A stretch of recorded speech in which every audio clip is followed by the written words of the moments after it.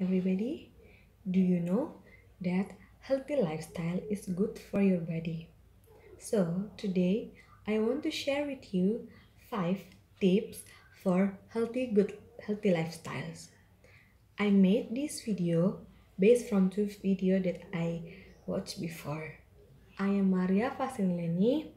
Uh, I'm from Ma Massachusetts University third semester. So, the first tip is eat balanced diet like protein, carbohydrate, salt, fiber, and vitamin C. Second is drink more water. Drink water at least 8 glass per day.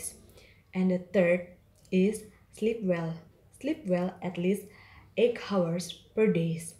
And then the fourth is um, avoid stress because it can uh, it's not good for your mind. And then the fifth is is the last but not the least is um, doing sport because doing sport you can get uh, sweat and it, it it can be toxic the dangerous food that you already eat.